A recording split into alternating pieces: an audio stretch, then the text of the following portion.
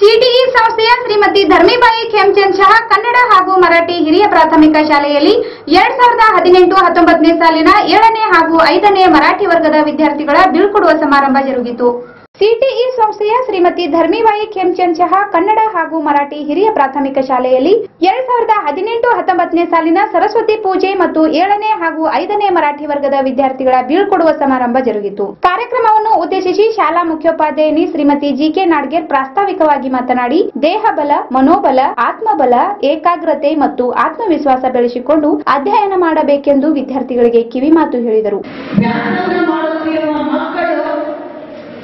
ಅನಿವಾರ್ಯವಾಗಿ ಮುಂದಿನ ವ್ಯಾಸಂಗದ ನಿಮಿತ್ತ ಬೇರೆ ಕಡೆ ಹೋಗ್ತಾ ಇದ್ದಾರೆ. ಅವರನ್ನು ಸಂತೋಷದಿಂದ ಬೀಳ್ಕೊಡುವ ಕಾರ್ಯಕ್ರಮ ಇಂದಿನ ಕಾರ್ಯಕ್ರಮ.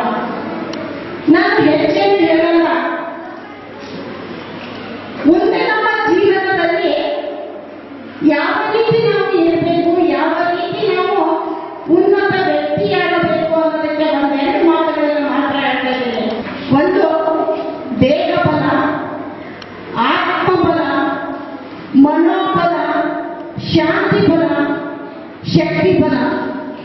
ಮುಖ್ಯ ಅತಿಥಿಯಾಗಿ ಆಗಮಿಸಿದ್ದ ಸಂಸ್ಥೆಯ ಸಹ ಕಾರ್ಯದರ್ಶಿಗಳು ಎಂಎಸ್ ದೇಶಪಾಂಡೆ ಮಾತನಾಡಿ ಮೊಬೈಲ್ ಟಿವಿ ಬಳಕೆಯನ್ನು ಕಡಿಮೆ ಮಾಡಿ ವಿದ್ಯಾಭ್ಯಾಸದ ಕಡೆಗೆ ಗಮನ ಹರಿಸಲು ಹೇಳಿದರು. ನೀವು ಉತ್ತರಾಗ ರೆಸ್ಪೆಕ್ಟ್ ಇಡಬೇಕು ಫಸ್ಟ್ ನಮ್ಮ ಮೈಂಡ್ ಇಡಬೇಕು ನಮ್ಮ ಟೀಚರ್ಸ್ ನಮ್ಮ ಪೇರೆಂಟ್ಸ್ ಯಾಕಂದ್ರೆ ನಮ್ಮ ಪೇರೆಂಟ್ಸ್ ನಿಧಾನಕ್ಕೆ ನಾವು ಇಲ್ಲಿ ಬಂದೆವು ನಮ್ಮ ಟೀಚರ್ ಅನ್ಕೊಂಡು ಇವರು ಸೆವೆಂತ್ ಡೇ ನಾವು ಸೆವೆಂತ್ ಸೆವೆಂತ್ ಡೇ ನಾವು ನೋಡ್ಲಿಕ್ಕೆ ಇವು ಎರಡು ನಮ್ಮಲ್ಲಿ ಮೇನ್ ದೇವರು. ನಾವು ಗುಡಿಗೆ ಹೋಗ್ತೀವಿ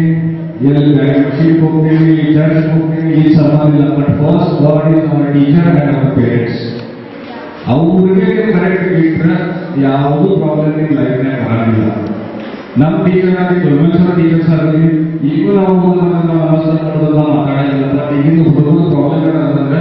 ಈ ಸಾರಿ ಮಾತಾಡಂಗಿಲ್ಲ ಇದು ಬೇಡ ಬೇರೆ ಬೇರೆ ಯಾಕಂದ್ರೆ ನಮ್ಮ ಇಂಡಿಯನ್ ಸಂಸ್ಕೃತಿ ಅಲ್ಲ.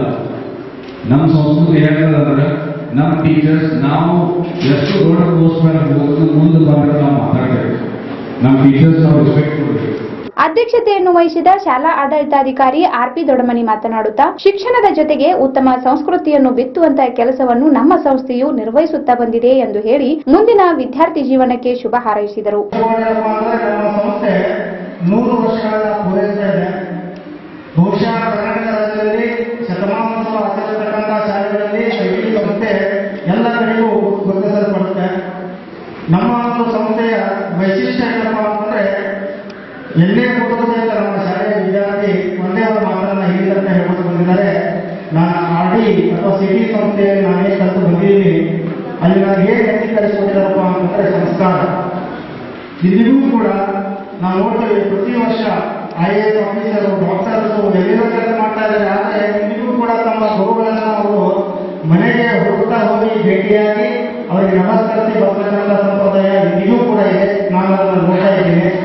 ಆ ಪರಂಪರೆಯನ್ನ ನಾವು ನೀವು ಇನ್ನೂ ಹಾಗೆ ಮುಂದುವರೆಸ್ಕೊಂಡು ಹೋಗೋಣ ಅಂತ ಹೇಳ್ತಾ ಯಾವತ್ತೂ ಕೂಡ ಈ ನಿಮ್ಮ ಪ್ರೀತಿಯ ಶಾಲೆಗೆ, ಆ ಶಾಲೆಯ ಗೌರವಕ್ಕೆ ಧಕ್ಕೆಯಾಗದಂತೆ ನಿಮ್ಮ ನಡವಳಿಕೆ ಇರಲಿ ಅಂತ ಆಶಿಸ್ತಾ, ಇವತ್ತಿನ ಸಂದರ್ಭದಲ್ಲಿ ನೀವೇನು ಈ ಒಂದು ಬೀಳು ಪಡುವಂತಕ್ಕಂಥ ವಿಷಯ ಬಗ್ಗೆ ನೀವು ಸ್ವಲ್ಪ ದುಃಖ ಪಡ್ತಾ ಇದ್ದೀರಿ. ಅದು ಬೀಳು ಬರುವಂತಹ ಅಲ್ಲ, ಇದೊಂದು ಹಂತ ಇದೊಂದು ಸ್ಟೇಜ್ ಈ ಸಂದರ್ಭದಲ್ಲಿ ಶಿಕ್ಷಕ, ಸಿಬ್ಬಂದಿ ವರ್ಗ ಮತ್ತು ವಿದ್ಯಾರ್ಥಿಗಳು ಉಪಸ್ಥಿತರಿದ್ದರು